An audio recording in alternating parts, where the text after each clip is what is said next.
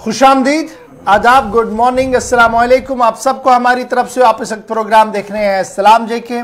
Gulistan news का morning show और आज का मॉर्निंग शो लेकर आपका मेजबान इशफा गौहर हाजिर खिदमत है। मेरे साथ नई दिल्ली स्टेडियम में मौजूद है। खुश आमदीद प्रोग्राम सलाम जेकी के साथ मैं हूँ आसिफ रशीद।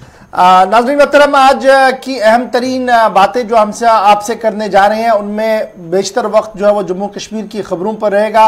उसके बाद मुल्की सतह पर क्या कुछ चल रहा है उस पर गुफ्तगु करेंगे। आलमी सतह पर आ, क्या कुछ फैसले लिए जा रहे हैं और उसका क्या कुछ असर होगा उस पर गुफ्तगु करेंगे। और एक एक दो अच्छी खबरें हैं जिनका लेखा जोखा और पूरी खबर आप तक ज़रूर पहुंचाएँगे। ग्राउंड ज़ीरो पर भी चलेंगे। सारी खबरें आपके साथ हम शेयर करेंगे इस नब्बे मिनट के प्रोग्राम में और नौ बजकर पैंतीस मिनट पर। जब हम दूसरे पड़ाव पर आपसे मिलेंगे, यानी ब्रेक के बाद मिलेंगे नौ बजकर पैंतीस मिनट पर तो फ़ोन लाइन्स हमारी खुल जाएँगी। आप और हम बात करेंगे, मसाइल पर गुफ्तगु होगी और हुकूमत तक एक पैगाम पहुँचाने की कोशिश करेंगे कि अवाम किन मुश्किल से दो चार है और उनका हल कैसे निकाला जा सकता है। तो ये सब कुछ होगा आज की इस नशरियात में, लेकिन इस उम्मीद के साथ टीवी पर आप हमें देख रहे हैं। सोशल मीडिया प्लेटफॉर्म का ज़रूर इस्तेमाल कीजिएगा। ट्विटर, इंस्टाग्राम, फेसबुक पर आप हमारे साथ ज्वाइन करेंगे। उसके साथ साथ हमारी ऑफिशियल वेबसाइट डब्ल्यू पर लॉग इन, सब्सक्राइब और शेयर ज़रूर कीजिएगा, ताकि जो फर्जी खबरें बाहर हैं, उन पर रोक लगे।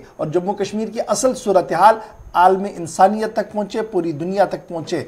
और इसलिए बहुत ज़्यादा ज़रूरी है कि घर बैठे आप क्लिक सब्सक्राइब और शेयर करना ना भूलिएगा। फ़िलहाल बढ़ते हैं जी आगे। आज खबरों के सफ़र का करते हैं आगाज़ और खबर वही बड़ी खबर जो कल रात सबसे पहले गुलिस्तान न्यूज़ ने ब्रेक की थी। जनूबी कश्मीर का शुपिया इलाका, जहाँ पर इंटेलिजेंस इनपुट आने के बाद एनकाउंटर को शुरू मुहसरा किया गया था, तलाशी शुरू की गई थी और लगभग आठ बजे के बाद गोलियों का तबादला हुआ था। रावलपोरा गाँव शोपिया का है और रात भर वहाँ पर सकूत तारी था। एडिशनल डिप्लॉयमेंट लगा दी गई थी और सुबह से भी, यानी आज भी ये एनकाउंटर जो है, अभी लगातार जारी है। और इस एनकाउंटर के अंदर की खबर जो है, वो काफ़ी दिलचस्प है, क्योंकि माना जा रहा है कि टॉप मोस्ट मिलिटेंट कमांडर समेत कई और लोग उस हाइड आउट के अंदर है, जिसको ढूँढने के लिए काफ़ी मशक्क़त इंटेलिजेंस और पुलिस और सीआरपीएफ या आर्मी के जवान पिछले कई दिनों से कर रहे थे। पंद्रह बार क्रैकडाउन के बाद उस कमीनगाह को बरामद किया गया, जिसको पुलिस ढूंढ रही थी। पंद्रह बार क्रैकडाउन के बाद। शुपिया में मिलिटेंट मैसूर अभी भी है और ऑपरेशन को रात देर गए जब मुलतवी कर दिया गया था तो आज सुबह पहली किरण के साथ ही इस ऑपरेशन को दोबारा शुरू कर दिया गया है। तेरह घंटों से तक तलाशी कार्रवाई जारी रही। ज़िले में इंटरनेट की खिदमत को मअतल कर दिया गया है। तेरह घंटे तक तलाशी कार्रवाई रही। उसके बाद ही इस कमीनगाह का पता लगा है। शुपिया में एक मजाफाती गाँव में सिक्योरिटी फोर्सेस और जंगजू के दरमियान मुसल्ले झड़प हुई, जिसके बाद ऑपरेशन को इतवार की सुबह तक, यानी रात को, आज सुबह तक इसको मुलतवी कर दिया गया था और पुलिस ने जिला हेडक्वार्टर से सिर्फ़ चंद किलोमीटर की दूरी पर रावलपोरा नामी गाँव और उसके मुलिका इलाकों का सर्च ऑपरेशन शुरू किया, क्रैकडाउन किया और तकरीबन 13-14 घंटे की मुसलसल मशक्क़त के बाद उस जगह तक सिक्योरिटी एजेंसियाँ पहुँची, जहाँ पर मिलिटेंट छुपे बैठे थे। और जो ही उस कमीनगाह के पास पहुँचे, वहाँ से मिलिटेंटों की तरफ़ से फायर किया गया, जिसको रिटेलिएट किया गया। उसके बाद ये ये जो तलाशी कार्रवाई थी, ये एनकाउंटर में तब्दील हुई है। अब जो जराया हमें बता रहे हैं, ये जो मुसल तसादम हुआ है, इसके पीछे भी एक बड़ी बात आ रही है। शुपियान के इस देहात में लगातार और मुतवातिर तौर पर क्रैकडाउन किए गए और जिस जगह पर ये ऑपरेशन आज शुरू किया गया है, अभी चल रहा है, तकरीबन 10 रोज से करीबन 20 देहात का मुहासरा किया गया, वहाँ पर तलाशी की गई और लगातार तीन चार बार उस इलाके के अंदर सिक्योरिटी एजेंसियाँ तीन चार बार चेक करके निकल गई थी। हाथ कुछ नहीं मिल रहा था, लेकिन जो जराया थे सिक्योरिटी एजेंसी की पास जो बाखबर जराए उसे खबर आई थी, वो ये थी कि मिलिटेंट इस इलाके के अंदर है और इस एरिया के अंदर अंदर वो मौजूद है। इसलिए उस मुसदा इतला पर ही कार्रवाई हुई, जिसके बाद चौंतीस आर आर चौदह बटालियन सीआरपीएफ और जम्मू कश्मीर पुलिस ने दोबारा से इस पूरे गाँव का मुहासरा किया। तलाशी कार्रवाई की और रात आठ बजे के करीब कल रात उस बिलाखिर उस जगह पर पहुँचे, जहाँ पर मिलिटेंट छुपे बैठे थे। अब खबर रसा इदारों के मुताबिक जो जो खबर आ रही है, अगरचे पुलिस की तस्दीक होना इसमें बाकी है, लेकिन खबर रसा इदारों के मुताबिक मिलिटेंट कमांडर, एक मतलूब, इंतहाई मतलूब तरीन मिलिटेंट कमांडर जो जेस से ताल्लुक़ रखता है, वो इस मुसल झड़प के अंदर फंसा हुआ है। अब वो अकेले नहीं है, उनके साथ कुछ और लोग भी होंगे, कुछ और मिलिटेंट भी होंगे। इसलिए इस ऑपरेशन को काफ़ी बारीक बिनी से देखा जा रहा है। इस बीच शोपियाँ झड़प में एक मिलिटेंट अब तक हलाक हो चुका है और जम्मू कश्मीर पुलिस ने ऑफिशियल ट्विटर हैंडल पर ट्वीट करके जानकारी दी है, जहाँ पर एक मिलिटेंट हलाक हुआ है, एक टॉप कमांडर के छुपे होने की इतलात मौसू हुई थी सिक्योरिटी एजेंसियों को। हालाँकि अभी तक वो कमांडर मारा गया या नहीं, ये जानकारी नहीं दी गई है, लेकिन एक अदम शराब मिलिटेंट अभी तक हलाक हो चुका है। पुलिस की तरफ़ से यह ऑफिशियल कंफर्मेशन कर दी गई है। रावलपुरा में फोर्सेज और मिलिटेंटों के बीच उस वक्त गोलियों का तबादला हुआ था, जब यहाँ पर परसों से रावलपुरा के इस इलाके के अंदर तकरीबन 10 ऐसे इलाके थे जहाँ पर सर्च ऑपरेशन मुख्तलिफ़ इलाकों के अंदर दो अजला में शोपिया और पुलवामा में शुरू किया गया था।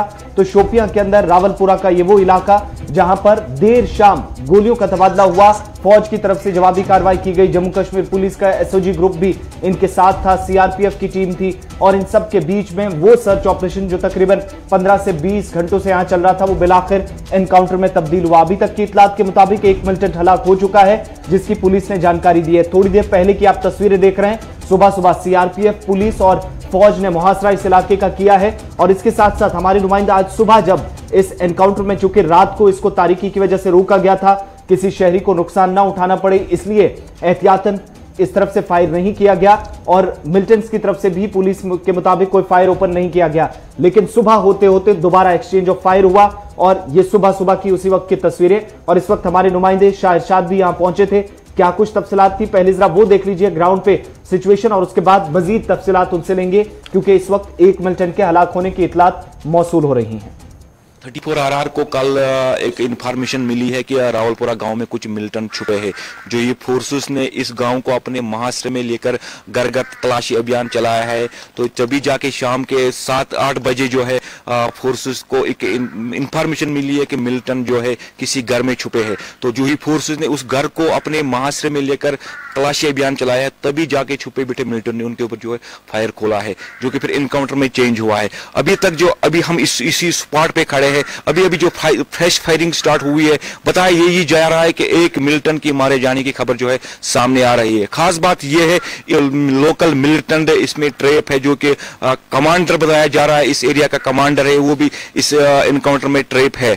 अगर हम इस एरिया की बात करें, ये एरिया जो है मतलब ये, इस एरिया को फोर्सेस ने सील किया है। जितने भी यहाँ पे एग्जिट और एंट्री पॉइंट उसको भी सील किया है। तहम गोलियों का तबादला जो है, दोनों तरफ़ से जारी है। शायर शाद गुलिस्तान न्यूज़, शोपियाँ। बड़ी खबर हम आपको बता रहे हैं कि शोपियाँ में मुसल्ह झड़प में अभी तक एक मिलिटेंट के मारे जाने की खबर है। जम्मू कश्मीर पुलिस के ऑफिशियल ट्विटर हैंडलर पर इस बात की तस्दीक कर दी गई है कि मुसल्ह झड़प में फ़िलहाल एक मिलिटेंट मारा गया है और उसकी शिनाख्त होना बाकी है। लेकिन जब आप हिस्ट्री को देखेंगे, जो अभी हमारे पास खबर आ रही है, वो ये है कि अब तक इस गाँव के अंदर, यानी इस साल में अगर आप जनवरी से देखेंगे, अब तक पंद्रह बार ऑपरेशन किया जा चुका है। ये इस इलाके के अंदर अभी तक पंद्रह बार ऑपरेशन किया चुका है और पुलिस ने बताया कि गाँव में मिलिटेंटों की मौजूदगी के बाद आज दोबारा ये ऑपरेशन कर रात को शुरू किया गया था, जिसके बायस इंटरनेट की खदमात को तो मुअत्तल कर ही दिया गया था, लेकिन मुसद्दिका इतला ये थी कि एक टॉप मोस्ट मिलिटेंट कमांडर के समेत कुछ और लोग, यानी कुछ और मिलिटेंट जो है, वो इनके साथ है। अभी तक खबर ये कि जड़प में एक मिलिटेंट के मारे जाने की खबर आ रही है और पुलिस के ट्विटर हैंडल पर इस बात की तस्दीक कर दी गई है कि एक अदम शिनाख्तुदा मिलिटेंट को मारा गया है।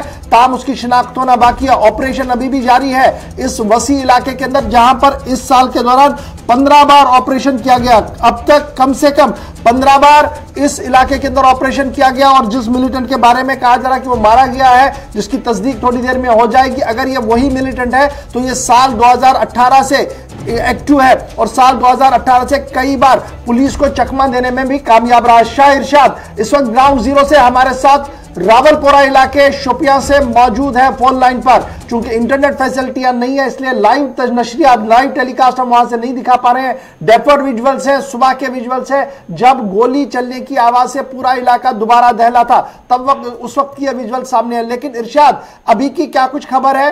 पुलिस का यह मानना है कि एक अदम शिनाख्तशुदा मिलिटेंट मारा गया है।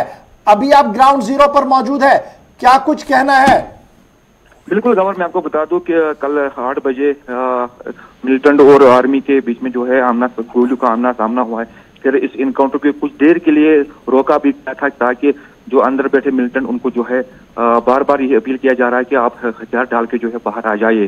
बट वो वहाँ से खामोशी नज़र आ रहे फिर बाद में तीन बजे की रात में उनमें जो है फिर से एक फायरिंग हुआ है मिलिटेंट और आर्मी के बीच में एक फायरिंग हुआ है। सर जिसमें एक मिलिटेंट की मारे जाने की खबर जो है सामने आ रही अभी तक हम इस, इस अगर इनकाउंटर की हवाले की बात करेंगे इस इनकाउंटर में जो है इस एक मिलिटेंट की मारे जाने की खबर और यही बताया जा रहा है कि दो या तीन मिलिटेंट इस एरिया में अभी भी छुपे हो सकते हैं। तमाम इस एरिया को सिक्योरिटी फोर्सेस ने अपने मुहासरे में लेकर जो है तलाशी जो है अभी भी वो जारी है। फ़िलहाल इस एरिया को जो है पूरी तरह से जो है सील किया है। इरशाद, ये बताइएगा, ये जो रावलपोरा का इलाका है, माना जा रहा है कि इंटेलिजेंस एजेंसीज और पुलिस सीआरपीएफ का जॉइंट ऑपरेशन इस वक्त ये चल रहा है, और आज तक रवा माह से, यानी जनवरी से लेकर अभी तक तकरीबन पंद्रह बार मुख्तलिफ़ इलाकों के अंदर छापामारी हुई, और इस इलाके के अंदर भी तकरीबन पंद्रह बार तक कोऑर्डिनेट सर्च ऑपरेशन चलाया गया, और हर बार यह इतला थी कि टॉप मोस्ट मिलिटेंट कमांडर यहाँ पर मौजूद है, लेकिन मिल नहीं रहा था। इस बार कामयाबी मिली है तो क्या कोई सिविलियन कि क्या ये कोई सिविलियन का मकान है जहाँ पर मिलिटेंट छुपे बैठे हैं? या चूँकि वहाँ पर बागात बहुत ज़्यादा है अंडरग्राउंड कोई जेर ज़मीन पनागा है जहाँ पर मिलिटेंट छुपे बैठे हैं? बिल्कुल आसिफ, मैं आपको बता दूँ कि जो ये एरिया है, ये लोकल मिलिटेंट सजाद अफगानी करके एक लोकल मिलिटेंट है, जो कि कमांडर देश का कमांडर बताया जा रहा है, वो इसी का एरिया है, रावलपुरा उसी का एरिया है।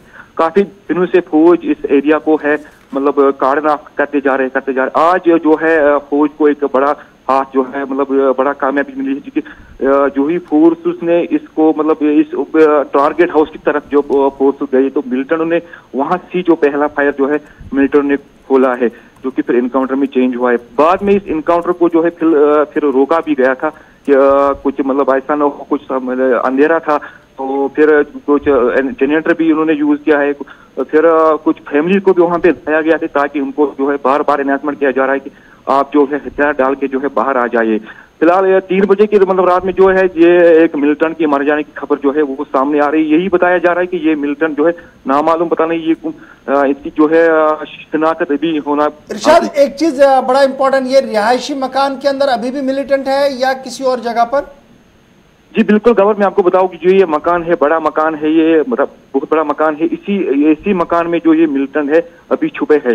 अगर फौज की हम बात करें कि फौज इस पे जो है बार बार आगे जाने की कोशिश कर रहा है तो वहाँ से वो फायर मतलब फायरिंग कर रहे तो फिर फौज यहाँ पे मतलब जो जो फायरिंग फायर कंटिन्यू फायर दे रहे हैं, ताकि जो इस सिविलियन पाँच से जो सूरज के लिए जा रहे थे कल शाम को जो सूरज के लिए जा वो उसी के उसी मकान के बगल में एक मकान है उसी में वो सिविलियन पाँच जो है फंसे हुए हैं।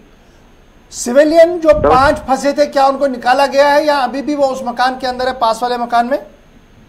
देखिए गौर मैं आपको बताऊँ जो ये टारगेट हाउस के बगल में एक मकान है हालाँकि उनसे हमारी बात भी हुई है कल कि उन्होंने यही कहा कि फौज ने हमें जो है सेफ़ रखा है, किसी बगल के मकान में हम जो है, हम पना ले रहे हैं ताकि मतलब फायर मतलब रुक रुक जो है फायर हो रही है। तो फ़िलहाल ये अगर यू, हम कहे कि जो ये फैमिली ये पाँच सिविलियन है, इनको जो है फौज ने सेफ़ जगह पे रखा है अलग मकान में रखा है, सेपरेट रखा है, ताकि ऐसा आका सामने ना बहुत शुक्रिया इरशाद, आप नज़र बनाए रखे फ़िलहाल खबर ये कि कल रात देर के रावलपोरा शुपिया के इलाके में, जहाँ पर झड़प शुरू हुई थी उसमें एक मिलिटेंट के मारे जाने की खबर आ रही है। आप देख सकते हैं कि ट्विटर पर जम्मू कश्मीर पुलिस ने शुपियन एनकाउंटर के हवाले से इस बात की तस्दीक कर दी है कि एक अदम शिनाख्तशुदा मिलिटेंट मारा गया है। ऑपरेशन अभी जारी है और साथ साथ जो ग्राउंड ज़ीरो से शाह इर्शाद बता रहे थे कि जिन सिविलियनों के बारे में, तीन से चार लोगों के बारे में इतला थी, उनके साथ भी बात हुई है। वो पास वाले मकान में है सेफ़ है। और इस वक्त ऑपरेशन इस पूरे इलाके के अंदर जारी है। इंतहाई मतलूब तरीन कमांडर के फंसे होने की खबर आने के बाद पूरे इलाके के अंदर हाई अलर्ट पर पुलिस को कर दिया गया है। तो खबर हम आपको शुपिया की बता रहे थे। अब जरा बढ़ते हैं आगे। बात एक और बताते हैं। क्योंकि जब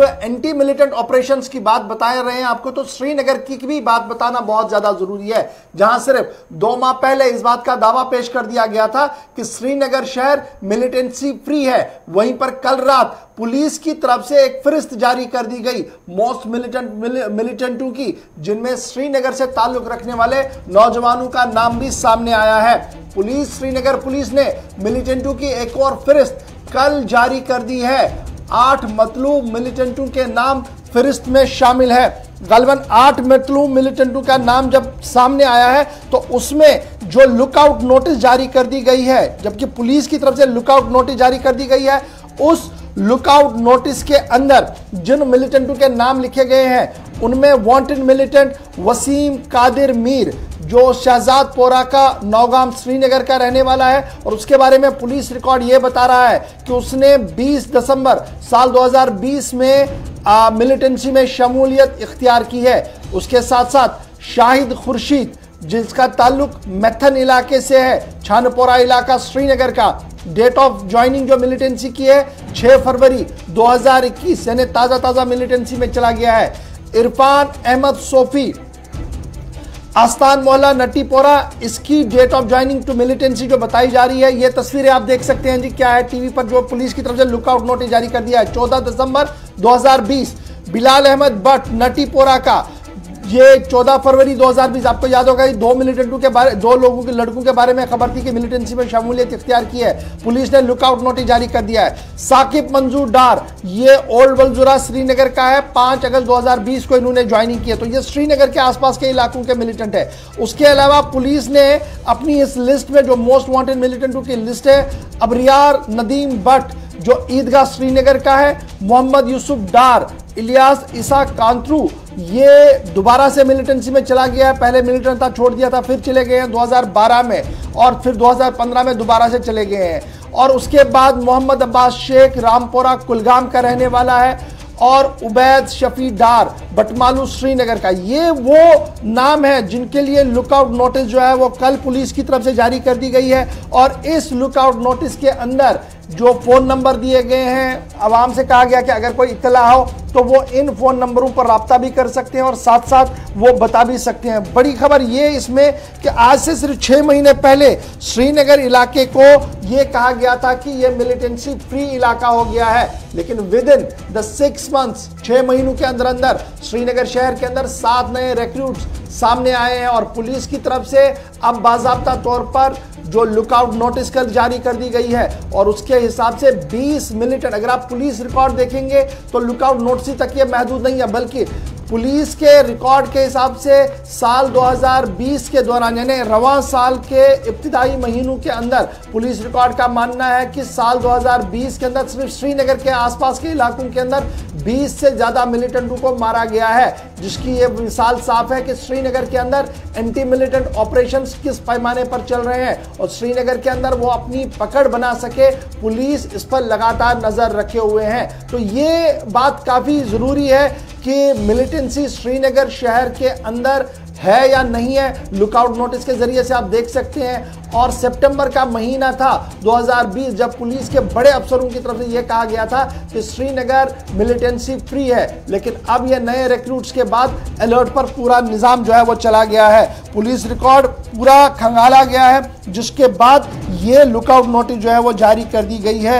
ये खबर हम आपको बता रहे हैं इसलिए क्योंकि शुपिया का इनकाउंटर है टॉप मोस्ट मिलिटेंट कमांडर छुपे होने की खबर वहाँ पर है, वहाँ पर एक मिलिटेंट मारा गया है और श्रीनगर से लुकआउट नोटिस जारी हुआ है। कौन कौन से मिलिटेंट उसमें है, सारी डिटेल मैंने आपके सामने रख दी है, तस्वीरों के साथ। अब जरा एक और बड़ी खबर की ओर भी चलते हैं जल्दी जल्दी। जब इस लुकआउट नोटिस की बात करते हैं तो डायरेक्टर जनरल पुलिस का बयान भी काफ़ी इंपॉर्टेंट बनता है और डीजीपी का मानना है कि हालात मामूल पर है और इस तरीके से मिलिट्री रिक्रूटमेंट से हालात पर कोई फ़र्क नहीं पड़ेगा, क्योंकि जो तंत्र, जो निज़ाम बनाया गया है, उसमें मिलिटेंट मूवमेंट करे, शहर के अंदर अपनी पकड़ बनाए, शायद यह नामुमकिन है। डायरेक्टर जनरल पुलिस की तरफ़ से साफ़ कर दिया गया कि कमोबेश 200 मिलिटेंट अभी भी जम्मू कश्मीर के अंदर एक्टिव है और 250 के करीब लाइन ऑफ़ कंट्रोल के पास है लॉन्चिंग पैड पर और वो इस पार आने की फिराक में है। लेकिन सिस्टम इस बार इतना मज़बूत कर दिया गया है कि इन्फिल्ट्रेशन होना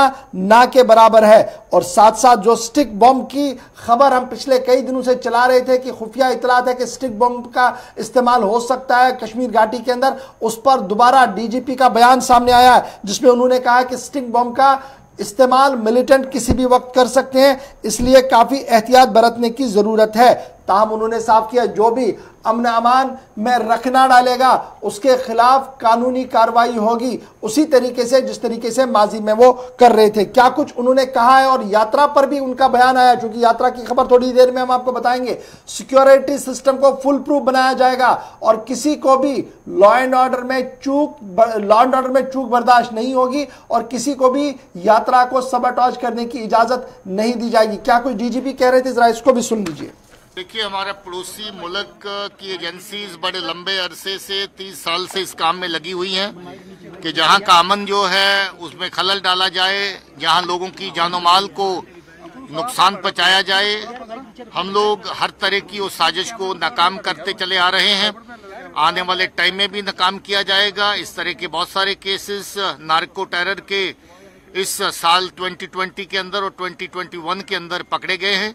हर केस की तफ्तीश बड़े सॉलिड तरीके से हो रही है। कुछ एक केस ऐसे हैं जिनको हम लोगों ने एनआईए को भी ट्रांसफ़र किया है, जिसमें वाइडर स्केल के नेक्सस टेरिस के और नार्को ट्रेड के पाए जाते हैं।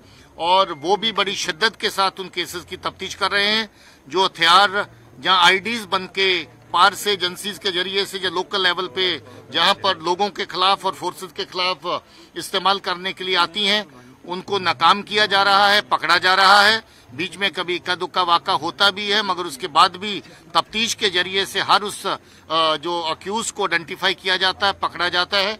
और उसके खिलाफ सख्त कानूनी कार्रवाई की जाती है जो ऐसी एक्टिविटीज़ में मुलवस होता है। अभी जो जहाँ पर 200 के करीब तादाद है टोटल जो टेररिस्ट इस वक्त एक्टिव है और मुझे उम्मीद है कि जैसे पिछले साल उनकी गिनती पहले के मुकाबले में काफ़ी कम हुई है इस साल और भी ज़्यादा कम हो जाएगी। देखिए स्टिकी बॉम्ब्स अपने आप में एक थ्रेट है ये खासतौर पे इसलिए कि उसके अंदर जो मैग्नेट लगा करके उसको गाड़ी के साथ जहाँ किसी मेटल सरफेस के साथ चिपकाया जा सकता है ये इस तरह की साजिश है कि कहीं किसी सिविलियन गाड़ी को या किसी फोर्स की गाड़ी को निशाना बनाया जाए, जो गाड़ी अबेंडेंड हो, जो गाड़ी कहीं इधर उधर खड़ी हो या भीड़ के इलाके में खड़ी हो।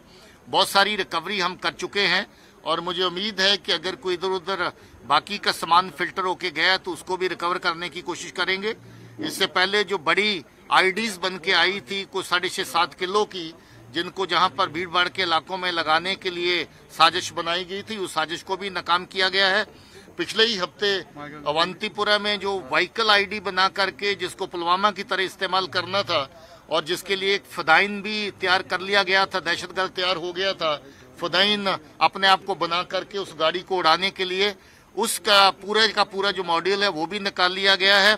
तो मैं आपको यकीन दिलाना चाहता हूँ कि जो भी इस तरह की गतिविधियाँ ज़मीन पे हो रही हैं सामने आ रही हैं उनको बेनकाब किया जा रहा है और जो सतह के आ, अंदर भी कोई एक्टिविटीज़ हो रही है उनके ऊपर भी सख्ती से नज़र रखी जा रही है। लॉन्च पैड्स भी कितने टेररिस्ट एक्टिव है इस बात कर रहे थे अमन कानून की सूरत हाल के हवाले से, बता रहे थे कि किस तरीके का माहौल है और मुस्तकबिल के ऊपर क्या कुछ चैलेंज हैं। लेकिन जम्मू कश्मीर पुलिस कमर बस्ता है, किसी भी चैलेंज का मुकाबला करने के लिए तैयार है। अब जरा लॉ एंड ऑर्डर के बाद बात एक और बड़ी खबर की करते हैं, क्योंकि जम्मू कश्मीर के हवाले से अगर इस खबर को आप देखेंगे तो इंतहाई अहम है। आसिफ। बिल्कुल श्रीनगर हवाई अड्डे पर जो कि गुजशत दिनों हमने आपको बताया था कि रात को परवाजें चलाने का सिलसिला शुरू किया जा सकता है और बाजाबता अब इसके लिए एक प्लान तरतीब दे दिया गया है। श्रीनगर एयरपोर्ट पर भी नाइट फ्लाइट्स की तैयारियाँ मुकम्मल कर ली गई हैं। ऑपरेशन आप 28 मार्च से देखेंगे। इसी महीने से कुछ दिन बाकी है जब पहली परवाज श्रीनगर से कोलकाता के लिए रवाना होगी। बाकी रियासतों के लिए भी यहाँ से परवाजें जाएँगी। लेकिन एक कंपनी की तरफ़ से, जहाँ पर पहले बुकिंग का सिलसिला शुरू किया गया था, वहीं मजीद एक कंपनी की ओर से, इससे पहले गो एयर की तरफ़ से जो बुकिंग का सिलसिला शुरू किया गया था, अब मजीद कंपनियाँ, जो निजी कंपनियाँ हैं श्रीनगर से भी नाइट फ़्लाइट का जो ऑपरेशन है, उसमें दिलचस्पी ज़ाहिर कर रही हैं। और जिस तरीके से साल 2018 में, जुलाई के महीने में आपको याद होगा कि डीजीसीए की एक टीम जो है मरकजी वजारत की शहरी हवाबाजी की, जिसने मुआयना किया था ग्राउंड पे जाकर, और उसके बाद श्रीनगर एयरपोर्ट, क्या नाइट फ़्लाइट ऑपरेशन के लिए इसके अहल से बनाया जा सकता है? यहाँ पर इतनी बड़ी ज़िम्मेदारी ली जा सकती है या नहीं? फैसला 2021 आते आते ज़रूर किया गया, लेकिन 28 मार्च से श्रीनगर हवाई अड्डे से जो रात के वक्त परवाजों के चलने का सिलसिला है, वो अब शुरू कर दिया जाएगा और बाजाबता इसमें अब एक नहीं, एक से ज़्यादा जो निजी कंपनियाँ हैं, वो अब इसमें दिलचस्पी भी ज़ाहिर कर रही हैं कि वो भी इन परवाजों को श्रीनगर हवाई अड्डे से यहाँ पर उड़ान भरेंगी। Director, airport authority of India Srinagar के अंदर ये बात साफ़ कर दी गई है उनकी तरफ़ से कि एरोड्रम जो है, वो लगातार तैयार है कि नाइट फ्लाइट्स को रिसीव करें और वो यहाँ पर टेक ऑफ़ भी कर सके। इस सिलसिले में एयरपोर्ट अथॉरिटी ऑफ़ इंडिया जो है, वो मुकम्मल तौर पर तैयार है। फ़िलहाल 25 से 30 कमर्शियल जहाज़ हर दिन जो श्रीनगर के एयरपोर्ट पर आती हैं और अगर 28 तारीख से रात की परवाजें शुरू होती हैं तो इसमें इजाफा 35 तक भी हो सकता है। अब एक और कंपनी, जैसे आसिफ ने पहले ही कहा कि स्पाइस जेट ने भी अपनी जो है बुकिंग का सिलसिला जो है वो शुरू कर दिया है। और श्रीनगर, कोलकाता फ़्लाइट को जो है वो उन्होंने सात बजकर 40 मिनट पर शाम को यहाँ से वो वापसी होगी 28 तारीख को। लेकिन एयरपोर्ट अथॉरिटी ऑफ़ इंडिया का मानना है कि इस बारे में अनाउंसमेंट जो है, night flight operation Srinagar airport पर, ये चंद दिनों के अंदर अंदर होगा। क्योंकि समर के लिए, यानी गर्मियों के लिए जो शेड्यूल रोस्टर है, वो रेगुलेटरी अथॉरिटी जो है एविएशन रेगुलेटरी अथॉरिटी जो है डी डी सी ए वो आइंदा चंद दिनों के अंदर अंदर जारी करेंगे। जिसके बाद ये साफ़ होगा कि कितनी परवाजें शाम को यहाँ पर आएँगी और यहाँ से वापस चली जाएँगी। रात साढ़े आठ बजे तक ये फ़्लाइट चलने का सिलसिला होगा। इस तरीके की बात जो है वो डीजीसीए की तरफ़ से जराये उनसे भी सामने आ रही है। तहम एयरपोर्ट अथॉरिटी ऑफ़ इंडिया का मानना कि उनकी तरफ़ से तैयारी कर दी गई। यह बात काबिल ज़िक्र है यहाँ पर कि श्रीनगर एयरपोर्ट मिलिट्री एयरपोर्ट है। इसलिए वहाँ पर जितना भी सिस्टम है, टेक्निकल सिस्टम चाहे वो एयर ट्रैफ़िक कंट्रोल का है या एयर ये जो एयर स्ट्रिप है, हमारी रनवे हमारा है, वो रहता है डायरेक्ट कंट्रोल में। एयरफोर्स के। और एयरफोर्स के जिम्मेदारों के साथ भी लगातार इसमें मशावरत हुई है। और उसके बाद ही यह फैसला लिया गया कि अब ये नाइट परवाजें जो है, ये चलनी चाहिए। आपको याद होगा कि गुजशत दिनों डायरेक्टर टूरिज़्म की तरफ़ से भी एक पहल की गई थी, जिसमें सयाहत से वाबस्ता स्टेक होल्डरों की बात को सुना गया था। उसके बाद श्रीनगर के अंदर एक अला सती मीटिंग भी हुई थी, जिसमें उन्होंने इस बात पर ज़ोर दिया था कि रात देर गए तक परवाजों का आना और जाना जारी रहे श्रीनगर एयरपोर्ट पर। ताकि सयाह जो वारदी कश्मीर हो, वो रात देर गए तक आ सके और यहाँ से रात देर गए वापस भी जा सके। तो इस सिलसिले में उनकी पहल और उनकी कोशिश को भी समरावर साबित होते हुए देखा जा सकता है, क्योंकि खबर ये कि 28 तारीख से मुमकिन तौर पर श्रीनगर एयरपोर्ट पर अब रात की परवाज भी आ सकती है और शाम आठ बजे तक ये परवाजों का सिलसिला जो है वो चल सकता है और समर शेड्यूल जो एविएशन की तरफ़ से जारी होगा, माना जा रहा है कि चंद दिनों के अंदर अंदर वो सारा शेड्यूल सामने आएगा। फ़िलहाल एक के बाद एक हवाई कंपनियाँ जो है, जो एयर जो हमारी सर्विस कंपनियाँ हैं, चाहे जेट हो या दीगर कंपनियाँ हो, वो भी इस पूरे मरहले पर नज़र रखी हुई हैं और माना जा रहा कि दो के बाद मजीद दो कंपनियाँ भी अपने बुकिंग काउंटर्स को खोल सकते हैं। फ़िलहाल सबकी नज़रें अब डीडीसीए पर है। जब समर शेड्यूल जारी होगा तो उसमें कितने बजे तक की लास्ट फ़्लाइट श्रीनगर एयरपोर्ट पर लैंड कर सकती है? फ़िलहाल दो के बारे में हमने आपको बता दिया। दिया उन्होंने बुकिंग का सिलसिला शुरू कर दिया है। Airport authority of India Srinagar भी तैयार है। एयरफोर्स ने भी कहीं ना कहीं हरी झंडी दे दी है। अब सबकी नज़रें दिल्ली पर मरकूज है। आपको याद होगा लेफ्टिनेंट गवर्नर साहब ने भी इस मामले को मरकज के साथ उठाया है। उसके साथ साथ चीफ सेक्रेटरी लेवल पर भी लगातार बातचीत हो रही है और मरकजी वजारती शहरी हवाबाजी के सामने जब पार्लियामानी पैनल ने अपनी रिपोर्ट रखी थी तो उसमें उन्होंने इस बात का ज़िक्र ज़रूर किया था कि ये जो रबता है, ये जो कनेक्टिविटी है, इसको बढ़ाना है, तभी जाकर आप श्रीनगर और जम्मू कश्मीर के अंदर सूरत हाल में बदलाव देख सकते हैं। तो अब देखना होगा कि अब इस पूरी पहल का कितना फ़ायदा होगा। फ़िलहाल खबर यह कि 28 तारीख से श्रीनगर एयरपोर्ट पर रात की परवाजें चल सकती हैं। चलिए, परवाजों का जैसा ही सिलसिला शुरू होगा तो एक और उम्मीद की जा रही कि वादी के अंदर शायद सयाहत से जुड़े लोगों के लिए अच्छी खबर होगी। टूरिज़्म अच्छा होगा, कारोबार बेहतर होगा, ये तमाम उम्मीदें लगाई जा रही हैं। लेकिन इस बीच सयाहत की से भी एक और खबर आपको बताते चले, क्योंकि जम्मू कश्मीर के लिए साल 2021 के पहले तीन से चार महीने अभी तक जो वक्त गुजरा है वो काफ़ी अच्छा है। गुजश्ता दो बरसों के मुकाबले साल 2019 और 20 में जो नुकसान हुआ, लेकिन इस बार वादी कश्मीर में सयाहों की तादाद में इजाफा देखा गया है और पहले तीन महीनों के दौरान आप देखेंगे तो अब तक जब आपको हम अपडेट कर रहे हैं तो दिसंबर से फरवरी तक करीब उनसठ हज़ार सयाह जो वादी पहुँचे। ये तीन महीनों का हाल अहवाल है। और ये भी हमारे पास खबर है कि अप्रैल तक होटल्स की मुकम्मल बुकिंग, खासतौर से श्रीनगर या जो सयाहती मकाम हैं, उन पर हो चुकी है, जहाँ पर छोटे छोटे इवेंट्स भी हो रहे हैं प्रोग्राम्स हो रहे हैं और सयाहत महकमे की तरफ़ साथ साथ मकामी सतह पर कुछ एनजीओ और बाकी लोग जो इस वक्त प्रोग्राम करवा रहे हैं, सयाहती शोबे को फरोग देने के लिए, सयाहत को बढ़ाने के लिए, उसकी एक झलक ये भी देखी जा सकती है कि इस बार तकरीबन इजाफा हुआ है। सरमा के खत्म होते होते साल 2021 में अब तक उनसठ हज़ार के करीब अट्ठावन हज़ार कुछ जो सयाह हैं, जो वादी के इस वक्त खूबसूरत नज़ारे जो है नज़ारा कर चुके हैं। और इस बीच, इस बार देखें तो कुल मिलाकर पिछले साल जो तादाद बीस हज़ार के आसपास थी, वही तादाद इस बार चालीस हज़ार ज़्यादा सयाह वादी कश्मीर पहुँचे। मौसम सरमा के आगाज़, यानी दिसंबर से ही वादी में सयाहों की जो आमद शुरू हुई थी, वो तकरीबन दिसंबर 2020 में नवासी गैर मुल्की मुल्की जो सयाह वादी पहुँचे थे, उनके समेत तेरह तक बताई जाती है। और आदाद शुमार बताते हैं कि जनवरी में यही तेरह के फिगर डबल होते होते नज़र आए, जहाँ पर उन्नीस हज़ार के पार सयाहों की तादाद पहुँची, जिनमें साठ लोग जो गैर मुल्की भी शामिल थे फॉरनर्स थे। इसके अलावा फरवरी के महीने में अब तक छब्बीस हज़ार दो सौ अट्ठारह सयाह वादी कश्मीर पहुँच चुके हैं। न सिर्फ़ श्रीनगर के अंदर, बल्कि दीगर जुनूबी और शुमाली कश्मीर में, जो सयाहती एतबार से काफ़ी अहमियत के हामिल जो मकाम हैं, वहाँ का रुख कर चुकी हैं।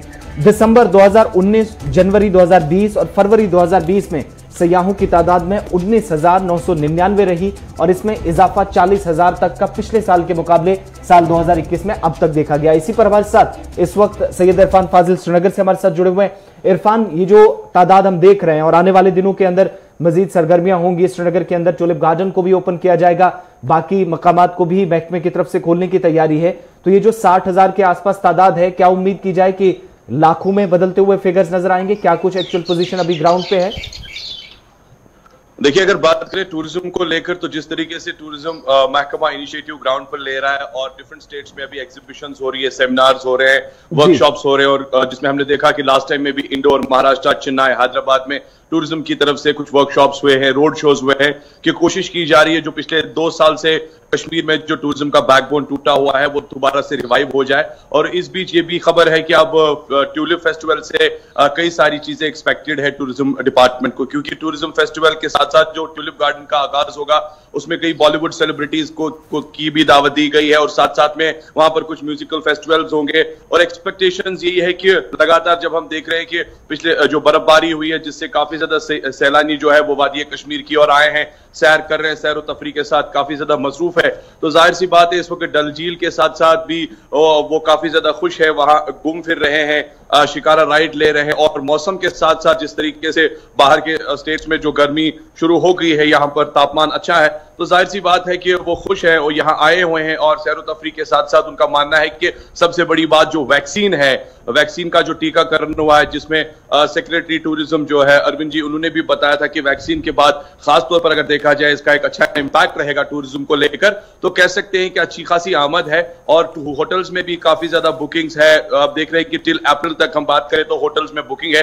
तो इस बार एक्सपेक्टेशन अच्छी है कि ट्यूलिप की बहार के साथ टूरिज़्म की भी बहार वादी कश्मीर में दिखाई दे। एक चीज़ और भी है, इस साल चूँकि स्टेक होल्डर्स का रोल बड़ा इंपॉर्टेंट रहने वाला है, जो शिकारा वाले हैं, बाकी लोग हैं सयाहत के शोबे से जुड़े हैं।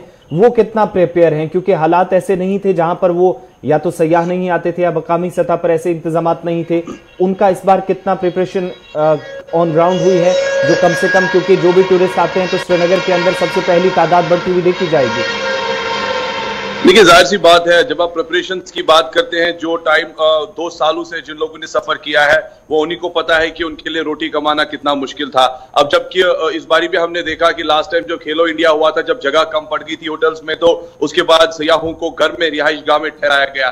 और उसके बाद उनको उनकी वही वैसी हॉस्पिटैलिटी रही जैसे हॉस्पिटैलिटी यहाँ पर बताई जाती है। तो इस बारी भी ऐसा कुछ है। हमें याद है कि साल 2012 या 2015 की मैं बात करूँ जब खया खानियार के इलाके खयाम में जो कि काफ़ी ज़्यादा बारबेक्यू के हवाले से फ़ेमस है वहाँ पर हमने देखा कि घरों में सयाहों को ठहराया था। इतनी ज़्यादा तादाद जो है उस वक्त सयाहों को के हवाले से देखने को मिली थी। तो इस बारी भी ऐसा कुछ है। अगर एक्सपेक्टेशन अच्छी रहती है तो मेहमान नवाजी वादी कश्मीर की बहुत शुक्रिया जी इरफान हमारे साथ ज्वाइन करने के लिए। देखिए दरअसल बात तो अच्छी है। है कि सयाहत का पहिया जो जाम हुआ था, वो आहिस्ता आहिस्ता करके चलना शुरू हो गया है। कोरोना अपनी जगह दस्त परेशानी अपनी जगह रही जम्मू कश्मीर को साल 2019 से ही। लेकिन अब आहिस्ता आहिस्ता करके ये बढ़ रहा है। लेकिन जो बेसिक इंफ्रास्ट्रक्चर हमारे पास है, वो काफ़ी कम है। हाई एंड टूरिस्ट के लिए हम क्या कर पा रहे हैं? वो बड़ा सवाल, माजी में भी रहा और आज भी है कि हाई एंड टूरिस्ट यहाँ पर आए और हाई एंड टूरिस्ट का मतलब क्या होता है? जो टूरिस्ट सनत के साथ वाबस्ता लोग हैं और फाइनेंस के साथ जो वाबस्ता लोग हैं, वो ये समझ पा रहे होंगे कि मेरे कहने का मकसद क्या है। नंबर एक। नंबर दो, हमारा जो बुनियादी इंफ्रास्ट्रक्चर है, जो मेरे पास एदाद शुमार है कि वादी में तकरीबन 1300 के करीब रजिस्टर्ड होटल्स हैं और 925 हाउस बोट जो है जो रजिस्टर है, और 650 या उसके आसपास कोई शिकारा ऑनर्स हैं, जो आपको श्रीनगर के अंदर या कश्मीर वादी के इस इलाके के अंदर कैटर करते हैं सारे सयाहों को। तो ये इनके साथ कितने लोग और जुड़े हैं, और ये एक लंबी चेन एक बनती है। एक तो ये।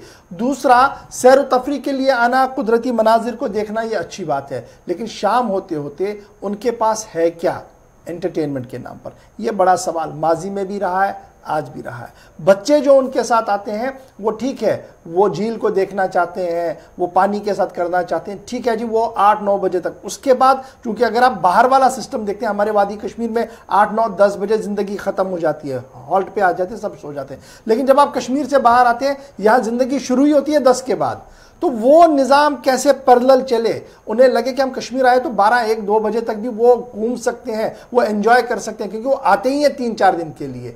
तो वो सारा निज़ाम हमने बनाना पड़ेगा और महकमा सयाहत को इस पर एक मशक करनी पड़ेगी कि किस तरीके से वो सिलसिला चले, वो रौनक लौट आए और ये जो डर और दस तरह की परेशानियाँ उन्हें किस तरीके से दूर किया जाए, ये एक बड़ी पहल करनी होगी। तब जाकर सयाहत फिगर्स के बदले आप अमाउंट में देखेंगे और अच्छा अच्छा खासा फ़ायदा हमें मिल सकता है। छोटे से ब्रेक के लिए जी यहाँ पर रुक रहे हैं। ब्रेक के उस पार आएँगे तो कोरोना के बाद एक और बड़ा फैसला। सरकार का आया है, उस पर गुफ्तगु करेंगे और फिर बात जरा सुनारों की भी करेंगे, क्योंकि सरकार ने नकेल कसली सुनारों पर क्या कुछ खबर है डिटेल के साथ? छोटे से ब्रेक के फ़ौरन बाद।